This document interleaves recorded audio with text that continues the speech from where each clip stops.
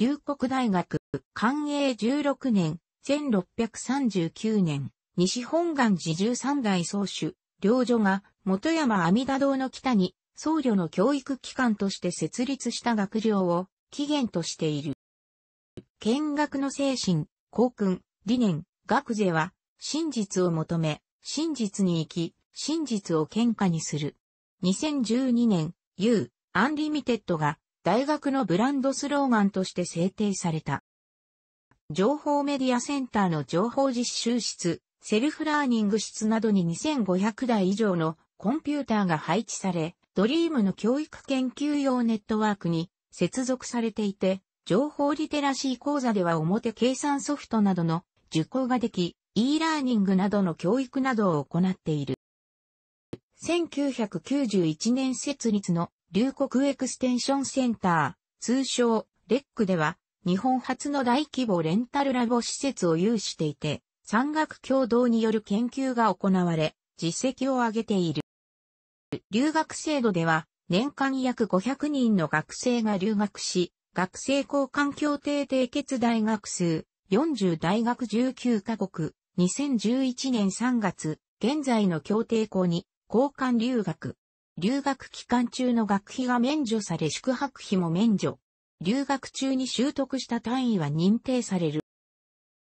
1987年4月から1993年9月に住友商事元会長の上村光夫による総合商社論や元大倉大臣で旧新党先駆け代表竹村正義当時は滋賀県知事により1984年から1989年4月まで地域政策論などが開講された。さらに、社民党元党首の土井隆子や弁護士の中房公平など、政界、経済界の面々が同学の客員教授として講義した。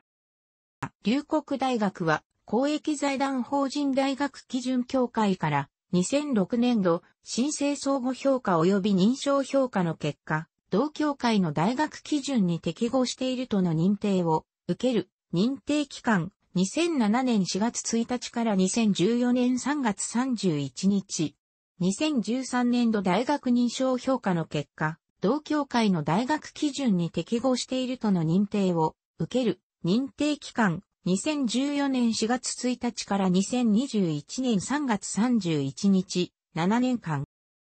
龍谷大学法科大学院は大学基準協会から2009年度法科大学院認証評価の結果、同協会の法科大学院基準に適合しているとの認定を受ける認定期間2010年4月1日から2015年3月31日。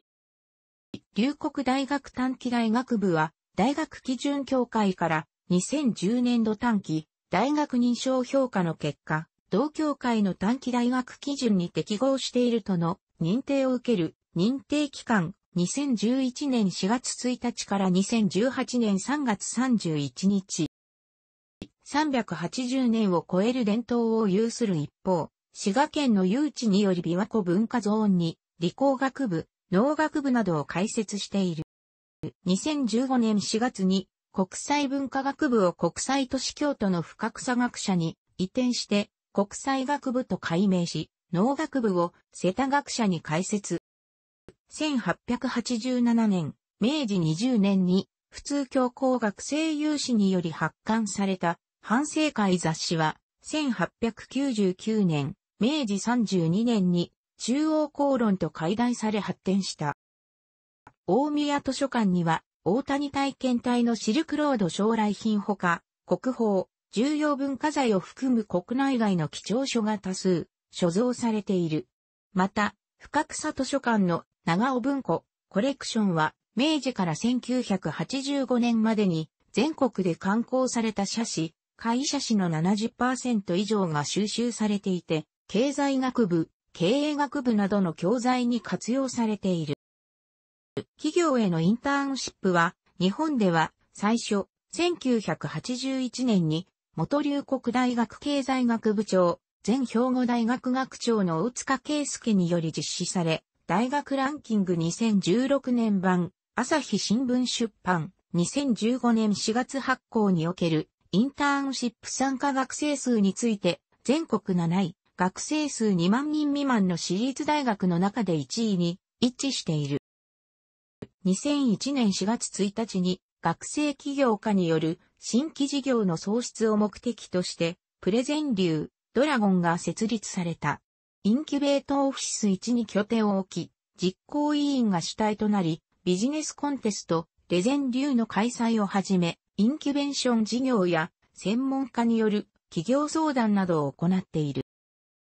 安全に関する取り組みとして、すべての建物に AED が設置され、学園祭実行委員など数十人が応急ターテ普及員の資格を持っている。また、2009年度からは敷地内全面禁煙を実施している。2010年度より敷地内に数箇所の喫煙所が設置され、一部での喫煙は可能となった。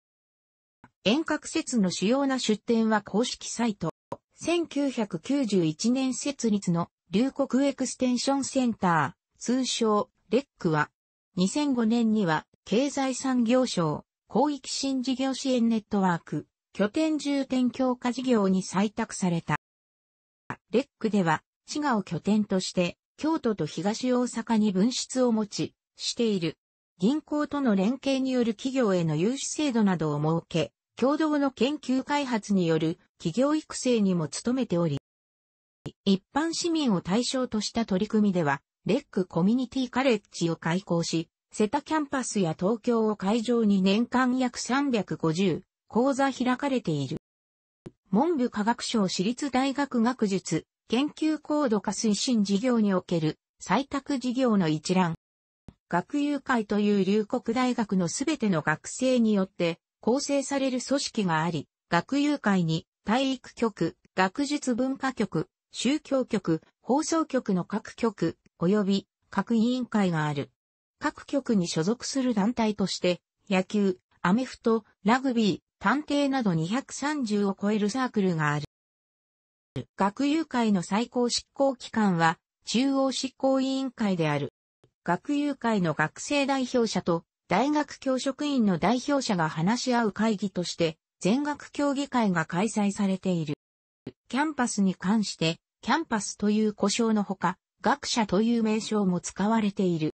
龍谷大学のメインキャンパスである。なお、深草学者と瀬田学者間、深草学者と大宮学者間には、スクールバスが運行。